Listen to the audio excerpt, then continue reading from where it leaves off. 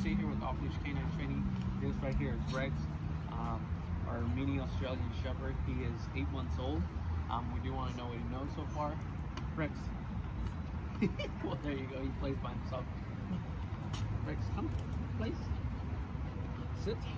Place. Sit. Down. Lean down. What about down? Down. Heel. Heel.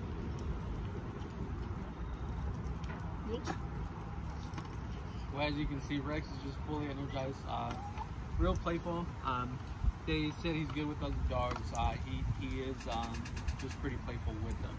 Um, so stay tuned in just 14 days and we're going to show you his progress. Let's go, buddy. Come